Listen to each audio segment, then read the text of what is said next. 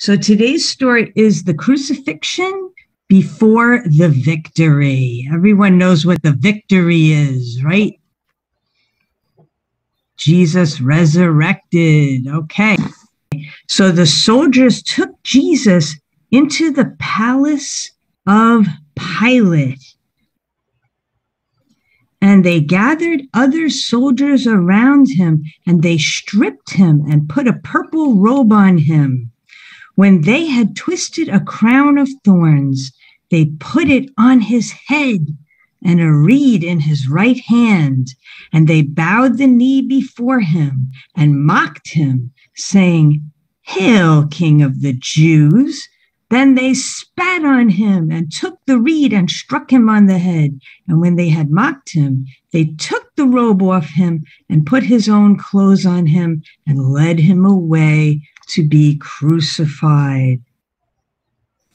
And when they had come to the place called Calvary, there they crucified him. With him, they also crucified two robbers, one on his right and the other on his left.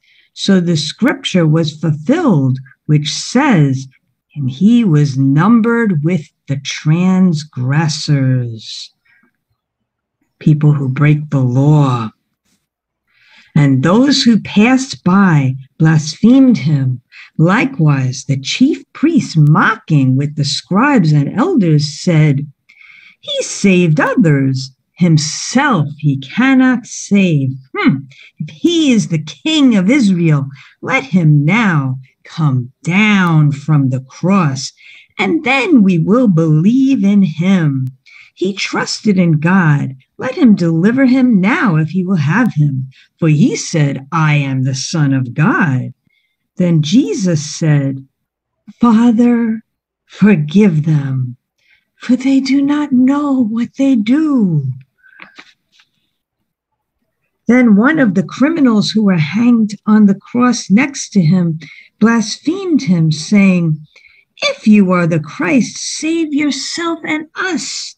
But the other answering rebuked him, saying, Do you not even fear God, seeing you are under the same condemnation? And we indeed justly, for we receive the due reward of our deeds. But this man has done nothing wrong. Then he said to Jesus, Lord, remember me when you come into your kingdom. And Jesus said to him, Assuredly, I say to you today, you will be with me in paradise. Now there stood by the cross of Jesus his mother and the disciple whom Jesus loved standing by. Mary dropped to her knees, and Jesus said to his mother, The woman, behold your son. Then he said to the disciple, Behold your mother. And from that hour, that disciple took her into his own home. Amen. Jesus cared for his mother even from the cross. Now, from the sixth hour until the ninth hour, there was darkness over all the land. There was an eclipse. The sun turned black. And about the ninth hour, Jesus cried out with a loud voice, saying, Eli, Eli, Lama sabachthani, that is, my God, my God, why have you forsaken me? And Jesus cried out again, and the earth quaked. And with a loud voice, he said, Into your hands I commit my spirit. And he yielded up his spirit the earth quaked and the rocks were split. Then the veil of the temple was torn in two from top to bottom. So when the centurion stood opposite him and saw the earthquake that had happened, and how Jesus cried out and breathed his last, he said, Truly, this man was the Son of God. It was the custom of the Romans to break the legs of those crucified ones who did not die. But when they came to Jesus and saw that he was already dead, they did not break his legs. One of the soldiers pierced his side instead with a spear, and immediately blood and water came out. These things were done that the scripture should be fulfilled. It said, not one of his bones shall be broken. And another scripture says, They shall look on him whom they pierced.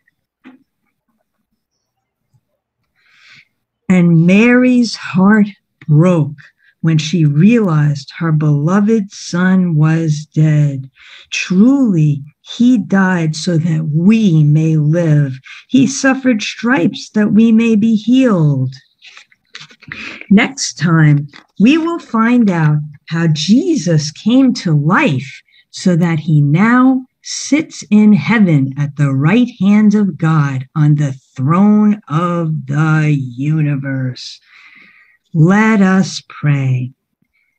Thank you, God, for sending Jesus to the cross just so that we may be with him and Heavenly Father and the Holy Spirit in heaven, the new heavens and the new earth.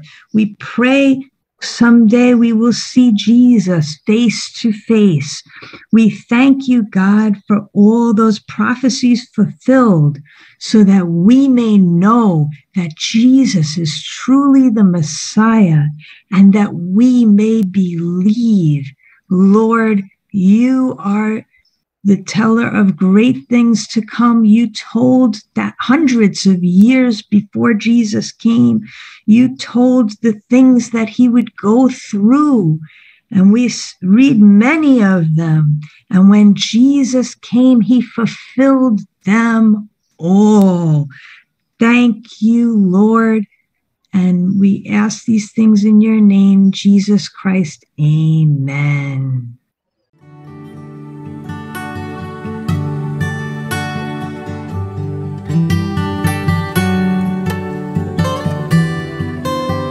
To hear more of Sandra McTiernan's work or hear her tell Bible stories, please visit www.harkstories.com or go to Sandra McTiernan on YouTube.